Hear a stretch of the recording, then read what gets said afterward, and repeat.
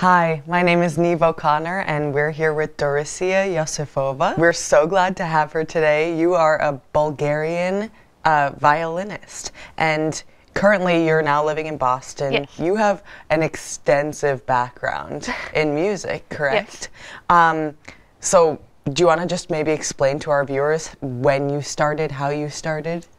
Sure. I um, I first picked up the violin when I was five, um, and I think that was thanks to my brother, who is also a violinist. And um, I grew up listening to his music all the time, and so it became part of me eventually. And uh, one day he was he asked me, "Do you want to try violin?" And he gave me his old violin from when he was little because we have different sizes. Um, and he said I was a natural, so I started, and I, I loved every moment of it. So That's great. yes, And you said your mom also had played too, right? yes, she did. She played all the way um, through high school, and and then after that decided to do something else um, for college. But she always has had a passion for it, and she supported me and my brother both. Um, Yeah, that's amazing. And like what we were saying before, like you had two great mentors just kind of built into your household, kind of. But so uh, this is what I find so amazing. You first had you had your first orchestral solo at the age of seven. Yes, I did. Um, it was a um, chamber orchestra in my hometown. Um, it was uh, I can't say I rem- remember it, but I, you know, I remember being on stage and playing. It was, yeah, it was it was a lot of fun. Wow, that's amazing. and then you just kind of kept performing from there, right? I mean, Yes, um, of course, there's a lot of learning involved, but um, yes, I actually I started music school in fifth grade. wow. Um, my mom and I moved to the capital of Bulgaria, which is Sofia, um, and there was a wonderful teacher there who um, really helped me. So that was a pretty big commitment early on. Right.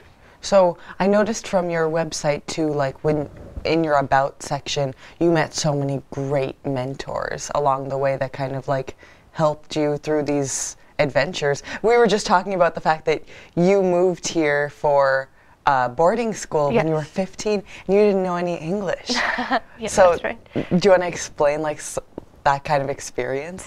Sure. Um, so I came here when I was 15. I applied to the Idyllwild Arts Academy in California, um, sent in a recording, and I got accepted on full scholarship, and uh, that's why I was able to come here in the first place. And uh, it was a interesting experience because, um, as you said, I didn't know any English, so um, the first year was very, very difficult. But uh, there were so many people on the way that helped me, including uh, all the Bulgarians who were there when I went. Um, they were kind of my mentors, and they helped me out and helped me get settled. And my violin teacher there, who was also Bulgarian, and um, friends, teachers, um, conductors, really the whole school was very welcoming. So Wow. That's wonderful. And you're obviously a really hard worker as well. Like, you know, you've come a long way.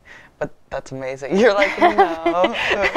no, but you are. That's amazing. You put yourself in the way of opportunity, right? And so, what was it like studying in Boston? And, you know, what kind of, what was your decision to stay in the area? Well, I, I love Boston. I uh, it's one of the reasons why I wanted to come um, here for graduate school because of the city. I uh, I've always loved it. I think I, I first visited when I was in high school. Actually, I was Oh, at wow. Idyllwild, so I uh, I don't remember what I was doing. I think I was visiting a friend, Mm-hmm. and uh, I came here and I just I loved it, and uh, and I was pretty set on coming either to Boston or Chicago for grad school.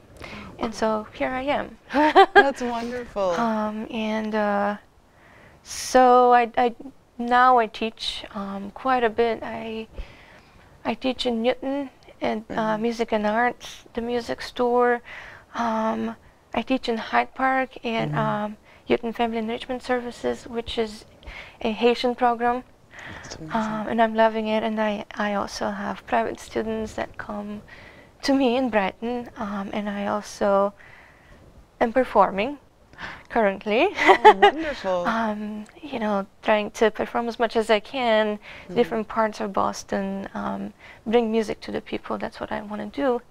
And uh, actually, I am starting a duo with a violist who is going to be playing with me um, on March 25th for, the, for this recital. Yes, it's uh, it's exciting, and uh, I'm excited. it, it almost feels like you know you're explaining all all this work that you're doing, but it must not feel like work, you know. Yeah, it doesn't. Um, because I've always loved what I do, and I think that's true for any artist. Um, and it's always been a part of me. So, yes, it's a lot of work, but it's worth it every hour that I've put in. It's really worth it. Yeah, and I'm sure you're you're still learning more about the instrument and about like Yes, of course, I am uh, still working with my teacher. I, I see him once in a while. oh cool. And uh, no, the, the learning never stops. So. Yeah. That's so cool. So you are going to perform for us today, which I'm so excited about. Do you want to talk a little bit about the pieces that you've chosen? Sure. I um. So I'll be playing the first movement of Bach's G minor sonata for solo violin. Um, I just wanted to give a little bit of a preview. Um, I will be playing the whole sonata on March 25th. Um, so, yeah. Okay, so today's like a little preview. Yes. Okay, I'm very excited. And for the viewers at home, we just want to share when you are going to be performing at Thomas Crane. If you at home want to come down and see uh, Dory perform, uh, you're, you're going to be at Thomas Crane Public Library March 25th yes, that's right. at 3 p.m. 3 p.m. Great. Thank you so much for talking with us today and can't wait to hear you play and see you live as well. Thank you for having me. oh, of course. Okay, thank you, and we'll see Dory next.